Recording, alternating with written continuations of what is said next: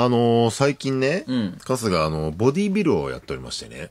ああ、はいはいはいあはのー、5月ぐらいかな、結構もうやってるんですけど、い。うん。見てくれました？今月のアイアンマン。ボディアイアンマン？ボディービル雑誌です。いや、読まないよ、それ。載ってたの？乗ってたよ、オードリー・春日ボディービル挑戦って。よ 見てくれてないいのや見てないわ。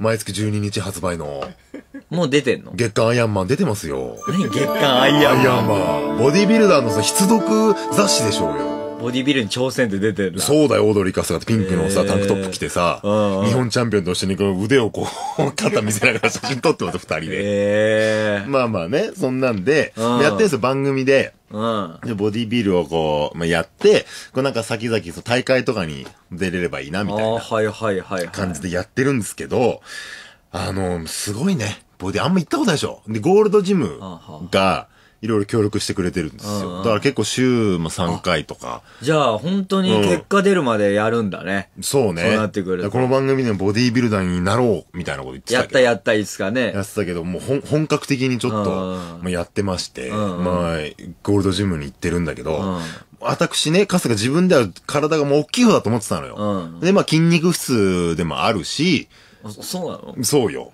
いや、俺は一回も本当思ったことない、筋肉質。えー、学生の頃から？思ったことない。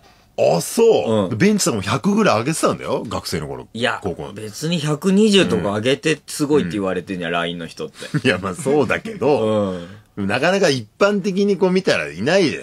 で一般的に。いや、俺は別にうんお前のこと筋肉があるなんて思ったことないし、うん別にタックルされて、うんやっぱこいつには勝てないなって思ったことないよ。紅白戦やってて。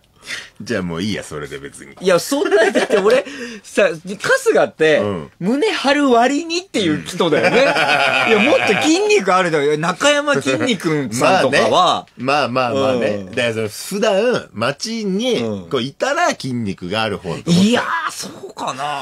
男の人多いよ、今、筋ト あ、レそう、して。うん。でやっぱゴールドジムともガリガリなんですよ。私、一番、ガリガリぐらい。うんうん。だろうもね。すごいのいや、よ。別に意外じゃないよ、それ。もう女性の人とかでもすごいのよ。いや、ゴールドジム行ってるゴールぐらいだドジムムッ。キムキでさ。んで、みんなもうガシャガシャこう上げてるのよ。で、まあ、つ、きついじゃない？きついよね、上げるの。うん。だからもうね、多分、やってる人、相当やってる人なんだろうね。なんかもう、楽しいんだろうね。その、あ、きついの上げるのが。はいはいはいで笑いながらやってる人とかもいるのよ。120とかのベンチは、へ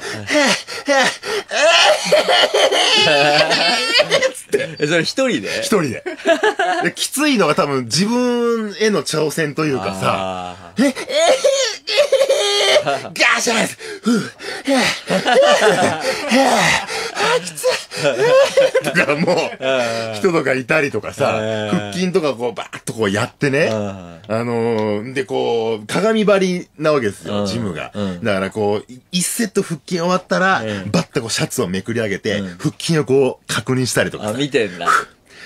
とか、確認してみたりとか、んすごい、ああああとか一人でやってる人とか、いや、なんかすごいの。なんかもう、戦場というかさう、んそんな中で、まあね、やってて。うん。最初行った時はまあびっくりしたんですけど、まあまあ最近だんだん慣れてきてさ、だってゴールドジムは他のジムと違うもんね。違う空気ね。全然違う。で入ってく人もさ、うんなんかあの、ボディービルみたいな、ズボンはでもなんかボンタンみたいはいはい、な、あの、バギーパンツね。バギーパンツ履いて、なんかち、ちっちゃめの、なんかね、ちっちゃめのエナメルのバッグみたいの持ってさ、入ってくじゃん。あのバッグに様々な種類のサプリメントとか入ってる。で、ガーシャーンってベンチとか上げるじゃん。で、終わった後にそのサプリ、こんぐらいのボトルですよ。うんボトルパカーって開けて、うん中から粉をね、うん水なしで飲んでるんですよ。水なしで？水なしで、ちっちゃいサジで、こうすくって、なんだろうあれっていう。そまあ多分、で、いろいろそのサプリメントとかの説明も受けたんだけど、なんかの集中力をこう、切らない、切らせないやつとかその回復を早くする、そのアミノ酸みたいな。集中力を切らせないのってあんの、サプリがああったりすんのよ。へで、まあ、プロテインとかも何十種類もあるし、んで、たくさんこう、いろんな色とりの赤とかさ、水の色が赤とか緑とかのボトルをこう、持ってうん、それをこう飲んだりそれが、筋肉が早くつきやすくなるタンパク質のジュース、エネルギージュースだったりするわけさ。まあ、そんな中ね、一人混じってやっててさ。で、日本チャンピオンのひ人が、こうメニューを作ってくれてうん、やってるんですよ。うんだからもう非常に本格的なのね。うんうん。で、私もさ、T シャツ着てさ、こうやって、あの、腰にあの、うんやってますよ。革のベルトみたいな。腰痛めないやつねチャンピオンベルトみたいなうんさ、腰のベルトを巻いてうん、ベンチ、ベンチやってますよ、私は。うんあ、春日だって見られるね、やっぱり。あのね、結構声かけられるね。あら、春日さんみたいな。応援してますとか、うんその、この間も、あの、同じビルダーとして応援してますんで。つって、女性の方に。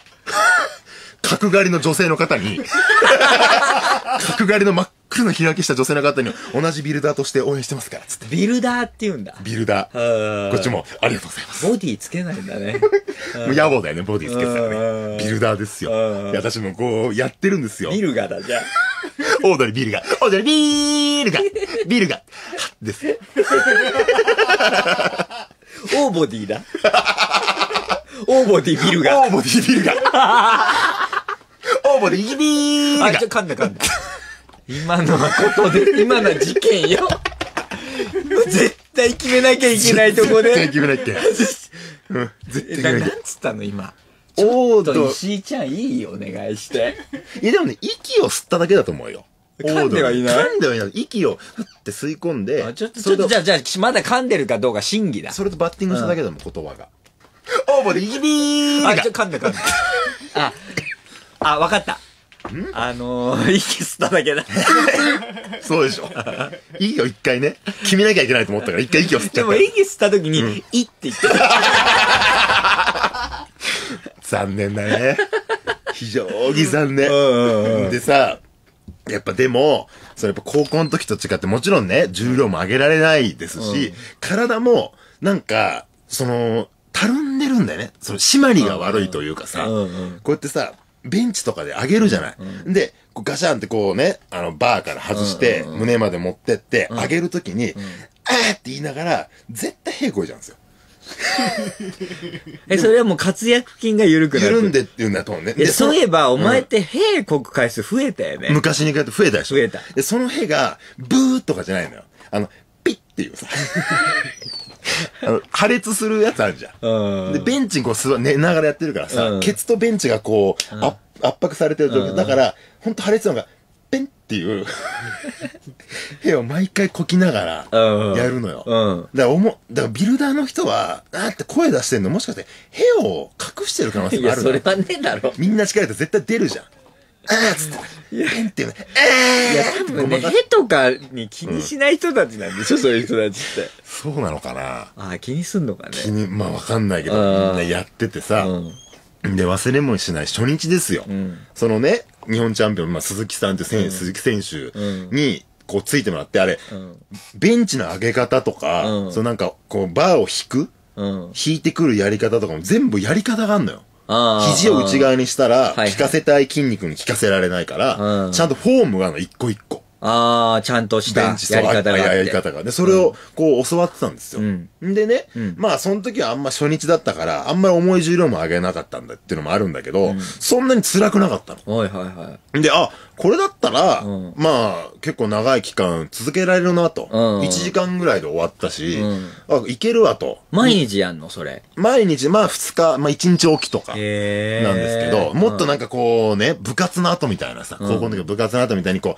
う、もう本当に倒れ込むぐらいうんやるのかなと思ったそうでもないから。ああ、自分のできる範囲でやってそうそう。だから、いや、意外に体力そんな衰えてないなと思ったのよ。うん上げる重さうんは、ちょっとね、重いの上げられないけどと。だから、いけるわ。ちょっと楽勝かもしれないと思って、で、ロッカールーム、まあ、帰るじゃないですか。うで、トレーニングウェアから着替えた時に、うんびっくりしたんだけど、うんズボン脱いだら、びっくりするぐらいの量のしょんべん漏らしたんですよ、私。え？これで、うーんってやるから、うんその度にちょっとずつ出てたんだろうね。え、何それ？俺ももう、へとかじゃない。もう、前がびしょびしょになっててさ。え、何それ？いや、でも漏らした自分で気づいてないの？気づいてないよ。な、なんで気づかないの？あーって言ってるからだよ、こっちは。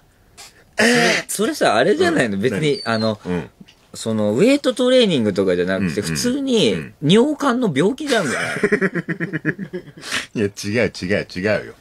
いや、力そう、を入れてみんなしょんべん漏らすわけじゃないでしょ、そんなん。だって。みんなだから、初心者だから。え聞いた？その、あの、教えてくれる人にみんなおしっこ漏らすんですか、いや、恥ずかしいから聞けないよ、そんなの。それ多分お前のその尿がおかしいんだよ。そうなのかな？いや、そんな漏れるもんかね。そう、もうびしょびしょよ。毎回？うん、そ初日だけあ、。初日だけ？うん。あそれ以外はちょっと力入れるようにしてるから、ああ。なんとかまあ大丈夫なんだけど。あそうなんだ。うん。まあ行ってみたらわかるよ。あ、んそう。正面漏らす可能性がある。うん。まあそんなんでやって、大体でも最近はちょっと太くなってきたんですよ。うん。腕とかも、んうんうん胸とかもこうついてきてね。はいはい。それで何ヶ月ぐらいやってん2ヶ月ぐらいかな。変わってきた、やっぱり変。わってきて、うんで、やっぱり、その、触っちゃうね。